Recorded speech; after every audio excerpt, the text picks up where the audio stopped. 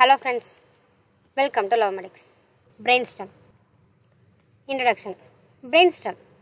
It is the structure that connect the cerebrum of the brain to the cerebellum and spinal cord. That is the brainstem. Brainstem. The midbrain, pons and medulla oblongata together are called brainstem.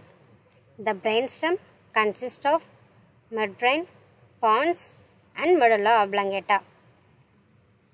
Relationship of brainstem. This one is the brainstem. Superiorly, cerebrum is present. That is forebrain.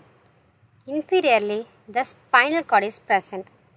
And posteriorly, pons and medulla oblongata that is separated by fourth ventricle that is present and also cerebellum is present.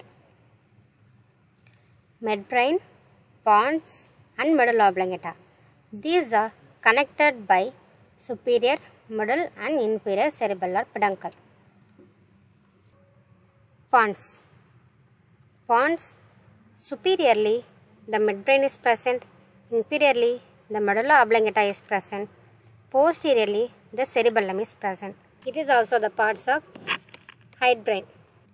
And also, it contains nucleus that deals with eye movement, respiration, bladder control, swallowing, hearing, equilibrium, facial sensation and facial expressions.